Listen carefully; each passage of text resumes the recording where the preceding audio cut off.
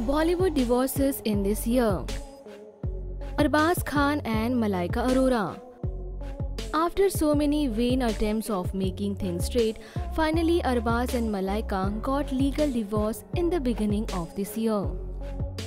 Farhan Akhtar and Adhuna Bhabani. When Farhan and Adhuna broke their 16 years of marriage, everyone was just shocked. After long legal fight, this famous couple got divorced legally in this year. Pulkit Samrat and Shweta Rohira. Just after one year of marriage, this couple started fighting with each other. In 2018, they filed for their divorce, but they got divorced legally in this year. Himesh Reshammiya and Komal.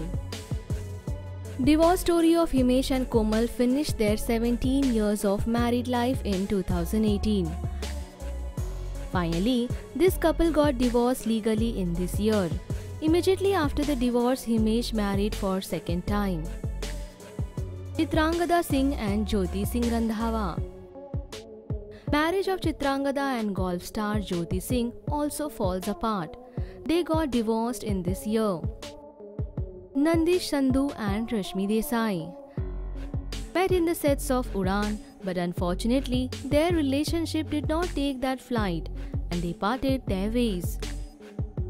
In this year, they finally got their legal divorce. Both of them moved on successfully after this divorce. Avinash Sachdev and Shalmalee Desai. Hero of TV, Avinash and his wife also ended their marriage in a nasty way. Daljeet Kaur and Shaleen Bhanot.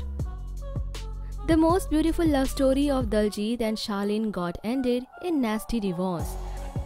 This sweet couple got the divorce legally in this year only. Raghuram and Sugandha Garg. After a long married life, decision of divorce was really heartbroken for Raghu and Sugandha. This couple got separated and divorced in this year only. Saundarya Rajnikant and Ashwin. Divorce of superstar Rajnikant's daughter Saundarya with her husband Ashwin was done this year. Vishal Dadlani and Priyali. After living separately for years, finally Vishal filed for a divorce from his wife Priyali in this year. Bobby Darling and Ramnik Sharma. Bobby filed a divorce accusing her husband of domestic violence and unnatural behavior. They finally got divorced in this year.